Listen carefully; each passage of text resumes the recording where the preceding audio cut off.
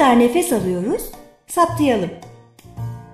Leğene yarıya kadar su dolduralım. Pet şişeye su dolduralım. Şişenin ağzını elimizle kapatarak ters çevirip leğenin içindeki suya batıralım.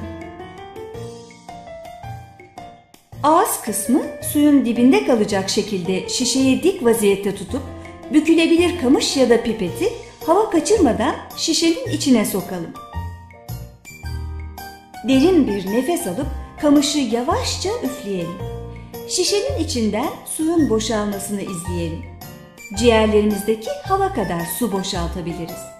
Ayrıca şişenin tepesindeki boşluk dışarı ne kadar hava verdiğimizi gösterecektir.